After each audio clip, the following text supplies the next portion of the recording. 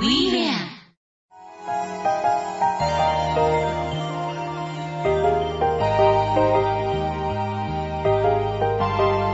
たくさんのポケモンたちに囲まれて毎日ゆっくりゆったり過ごす。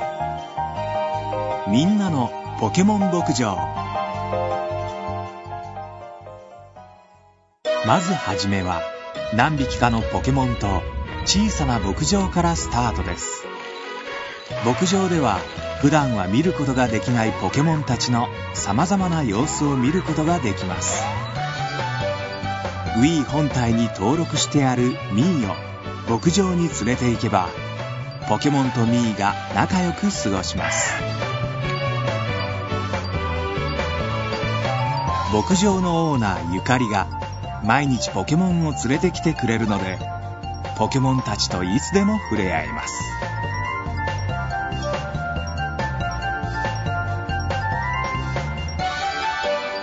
またポケットモンスターダイヤモンドパールで集めたポケモンたちを預けると牧場はさらに賑やかに。初めは小さな牧場もポケモンたちでいっぱいになると大きくなります。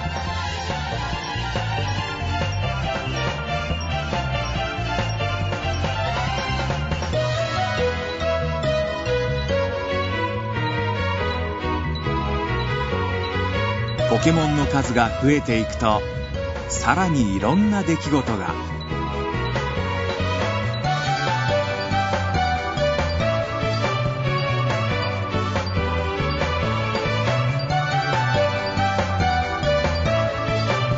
ゆかりからダイヤモンドパールのポケモンを連れてきてほしいと依頼されたり。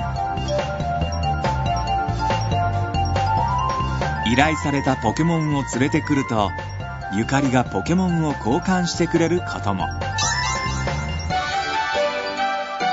ポケモンたちと一緒に記念のワンシーンを写真に残せます。撮った写真は SD カードに保存したり Wii 伝言板に貼って友達に送れます。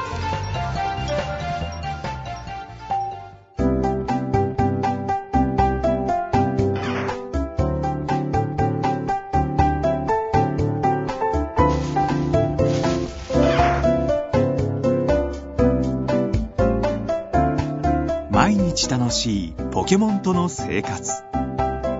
みんなのポケモン牧場。